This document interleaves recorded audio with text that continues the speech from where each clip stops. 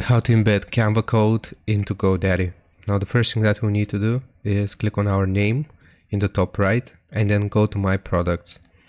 Here from this page we will need to open up the GoDaddy website editor so I'm just going to click on websites plus marketing here and manage on this option here websites plus marketing e-commerce free trial for me so click on manage and basically we just want to access the website editor and click on edit website and it's going to load up like this.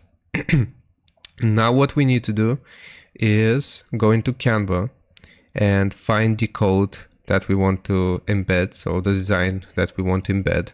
Open it up and then select share.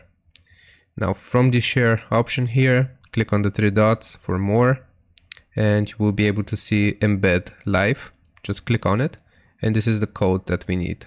Just click on copy. Once we have the HTML code copied, we'll go back into GoDaddy and here we just want to add a new section. So depending on which uh, page you want to add this uh, Canva design to, you will just click on add section and it's going to load up a new menu here for us. We want to search for HTML and just embed custom code on the page, add this. Now, once we have decided, it's going to look like this. Code will be rendered here. And in the uh, section for custom code, we'll just paste the code that we copied from Canva. And now, as you can see, this is the design that I had created on Canva and it's embed onto my GoDaddy website. I hope this helps you out. Click on done.